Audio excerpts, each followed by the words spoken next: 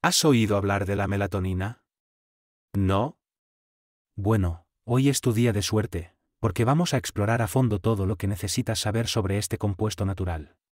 La melatonina, también conocida como la hormona del sueño, es producida por nuestro propio cuerpo, pero, ¿alguna vez te has preguntado para qué sirve? En este vídeo te revelaré las propiedades de la melatonina para la salud. No te lo puedes perder. Para comenzar, la melatonina es crucial para regular nuestro ciclo sueño-vigilia. ¿Sabías que una buena noche de sueño puede impulsar tus resultados de fitness? Sí, lo hace. Pero antes de sumergirnos en ello, déjame decirte que este vídeo es puramente informativo y no sustituye el consejo médico profesional. Consulta a tu médico antes de tomar cualquier suplemento. Ahora que eso está claro, vamos a hablar sobre cómo la melatonina puede ayudarte a recuperarte después de un entrenamiento intenso.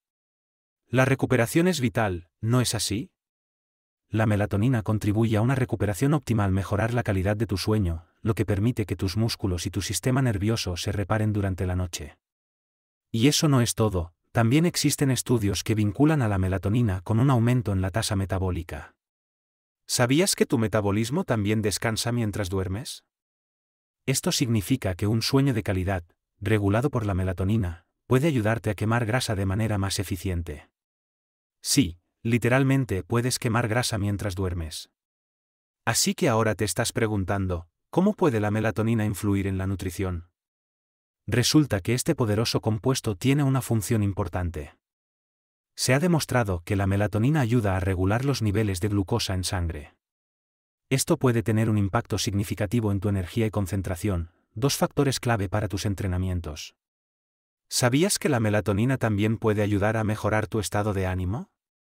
Un estado mental positivo es crucial para mantenernos motivados. Ahora, hablemos de cómo puedes aumentar tus niveles de melatonina naturalmente. No necesitas depender únicamente de los suplementos. La exposición a la luz natural durante el día y la reducción de la luz artificial por la noche puede ayudar a regular tus niveles de melatonina. Interesante, ¿verdad? Puedes utilizar un filtro de luz azul para el móvil durante la noche para reducir el impacto de la luz en el ciclo vigilia-sueño.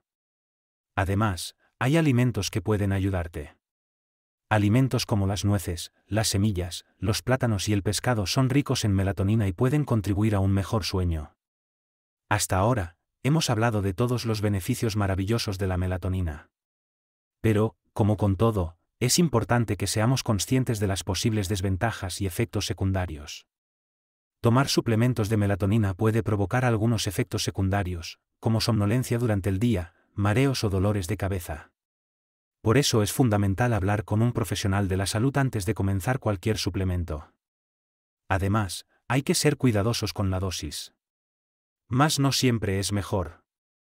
Con la melatonina, se recomienda una dosis baja para empezar, aumentándola gradualmente según sea necesario. ¿Cuánta melatonina debería tomar? Para empezar puedes utilizar un miligramo e ir subiendo gradualmente hasta los 5 miligramos y ver cómo te funciona a ti.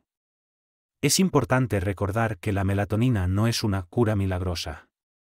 No sustituye a una buena dieta, ejercicio regular y un estilo de vida saludable. Pero puede ser un gran complemento para tu rutina.